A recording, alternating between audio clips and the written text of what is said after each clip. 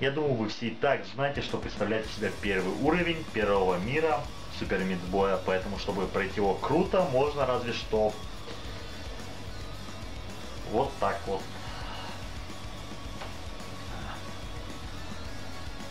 По-моему, запись началась.